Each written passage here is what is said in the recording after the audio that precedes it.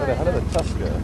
Get shot of that vehicle with the Thing yeah. you can car because then you can see the sell it to Things Camp for the, for the next brochure. If you get a good, good enough shot, good. Because I mean, what they look for is Yeah. shots the story with the birds with the animal. That's So the same bird in Kenya a different name to the same bird in South Africa. Okay. And, uh, and so Yeah, so also we put it in Africa there were quite a few names. You can see his largest tusk is on the right. Uh-huh. Okay, so that's a tusk that um, is less used.